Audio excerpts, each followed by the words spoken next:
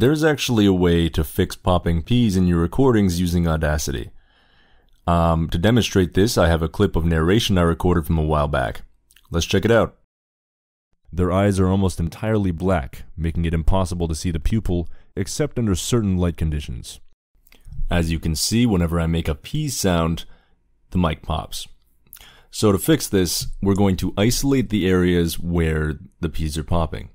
In this recording, you can see a little squiggly line where I make P sounds, and we're going to highlight that, go to Effect, Equalization, and 100 Hertz Rumble in this drop down menu here.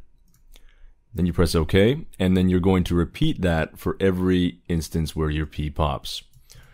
You can speed this process up by using Control R to repeat the previous effect.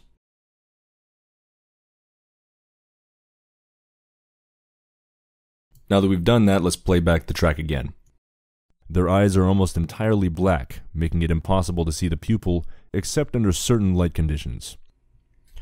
Now this isn't a perfect fix, but it will make the popping P sounds a lot less noticeable, especially if people aren't looking for them.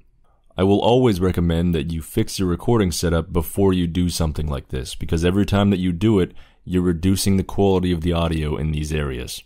Anyways, I hope you found this video useful. If you did, leave a comment or a like or whatever. And either way, I'll see you again next time.